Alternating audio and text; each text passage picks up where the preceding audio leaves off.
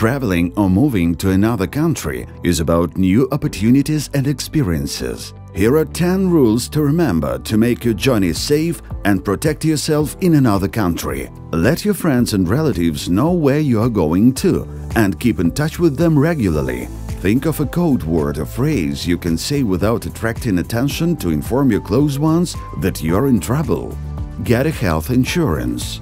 Make copies of your passport for yourself and your family in case you lose it. Set aside a sum of money that might be needed for an unexpected departure back home. If you're going to work abroad, check the employer and find out the rules for entering the country.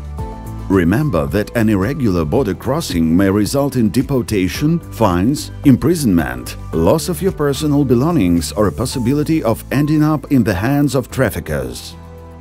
Do not give your passport, phone or other devices to other people.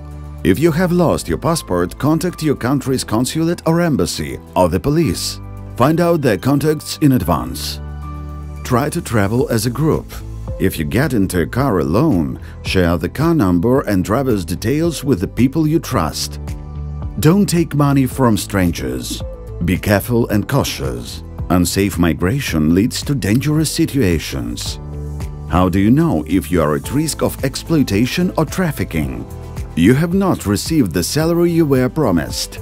You have been forced into work that you did not agree to. You have been detained against your will. You have been threatened, blackmailed, abused or mistreated in other ways.